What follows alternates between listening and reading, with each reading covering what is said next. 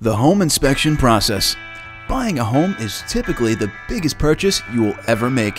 A home inspection is perhaps the most important chapter in the home buying process and can benefit both the buyer in understanding the condition of the house and the seller who wants to provide accurate disclosure information. According to the American Society of Home Inspectors, www.ashi.org, a home inspection is an objective visual examination of the physical structure and systems of a home from roof to foundation. Like a physical exam from a doctor, the home inspector examines what's visible, and if he finds anything worthy of discussion, they'll make an evaluation and recommend remedies. Tip Don't confuse the home inspection with the home appraisal. The home appraisal protects the lender's financial interests. The home inspection protects you, the buyer. The appraisal is the bank's way of determining whether or not the house is worth the price you've agreed to pay. The inspection is your way of identifying structural or mechanical problems with the house. If you are selling your home, consider having a home inspection done before you put your home on the market, and you may avoid any surprises when potential buyers have a home inspector check it out.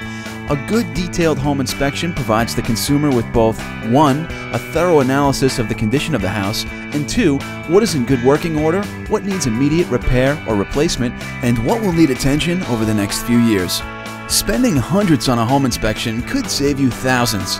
The typical home inspection is usually a two hour or more examination of the home's structural, mechanical, and electrical elements from top to bottom, inside and out.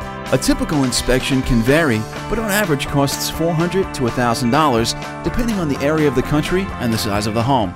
A home inspection typically includes an examination of the following structural elements foundation, roof, brick, wood, metal siding, stucco, and concrete form, doors and windows, electrical, plumbing, insulation, appliances, and heating and air conditioning. Outdoor elements will also be inspected. Driveways and sidewalks, other buildings to be conveyed with the property like garages, porches, patios, balconies, and septic tanks.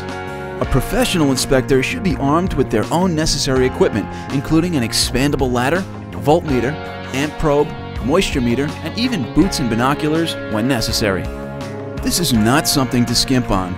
If you're serious about buying or selling, make sure the home inspection is performed by a qualified home inspector. Here are several resources to help you find a home inspector. Ask your agent if he or she can recommend a qualified inspector. Visit the American Society of Home Inspectors website at www.ashi.org